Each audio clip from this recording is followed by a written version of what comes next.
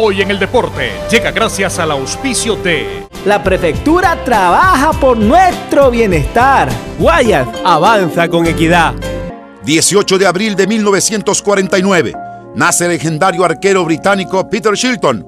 Tomó la posta de otro veterano, Ray Clemens, y desde mediados de los 70 defendió el arco de su selección, pero pasó a la historia de los mundiales por ser relacionado con el gol más polémico en México 86, La mano de Dios, en donde el argentino se le adelanta al arquero y que solo la tecnología de la televisión lo pudo descubrir. La prefectura del Guayas trabaja por nosotros.